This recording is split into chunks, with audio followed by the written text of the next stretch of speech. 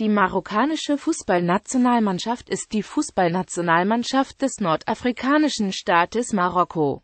Sie gehört zu den erfolgreichsten Mannschaften auf dem afrikanischen Kontinent.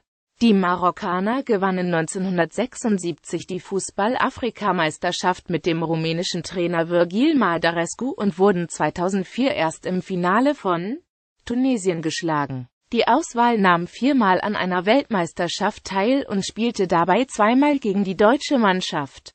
Ihr bestes Ergebnis erreichte die Mannschaft 1986 mit dem Erreichen des Achtelfinals. Dabei erreichte die marokkanische Nationalmannschaft als erste afrikanische Mannschaft einen Gruppensieg bei einer WM noch vor England, Polen und Portugal. Auch bei der Weltmeisterschaft in Frankreich 1998 spielten die Löwen vom Atlas stark, scheiterten aber mit viel Pech in der Vorrunde. Sie waren außerdem die zweite afrikanische Mannschaft überhaupt, die sich für eine WM-Endrunde qualifizieren konnte.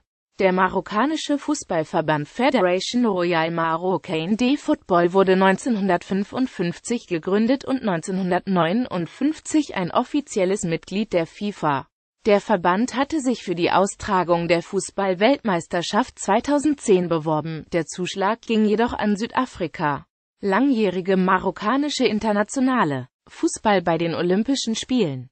Nach 1988 nahm die A-Nationalmannschaft nicht mehr an den Olympischen Spielen und den Qualifikationsspielen dazu teil die Olympiamannschaft nahm 1992, 2000, 2004 und 2012 teil, schied aber jeweils in der Vorrunde aus.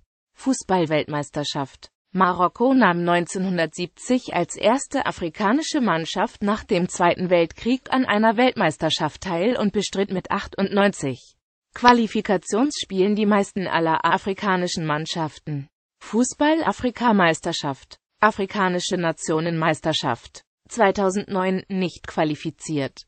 2011 nicht qualifiziert. 2014 Viertelfinale. 2016 Vorrunde. Kader